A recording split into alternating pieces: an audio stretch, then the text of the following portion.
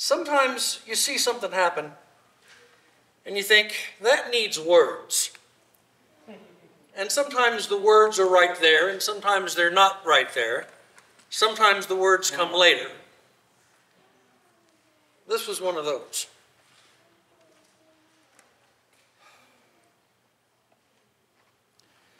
In a pavilion by the battlefield I sat, keeping company with a skald and two gray jarls, sharing easy stories of deeds and glories past, memories fresh as the rain on canvas drumming.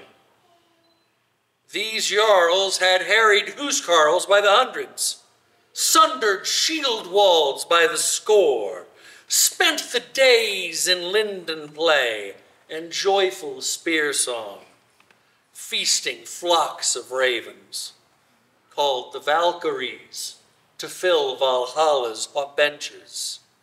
But all in play, as brothers tussling, testing their own strength.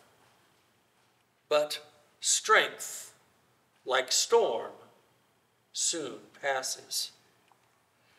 Now these two clasp arms, strong gnarled fingers like twisted iron arm rings. This year, one says, I did not bring my armor. His friend replies, I left my sword at home. The gaze between them blazes with a hundred thousand sword strokes. A single tear traces craggy cheek.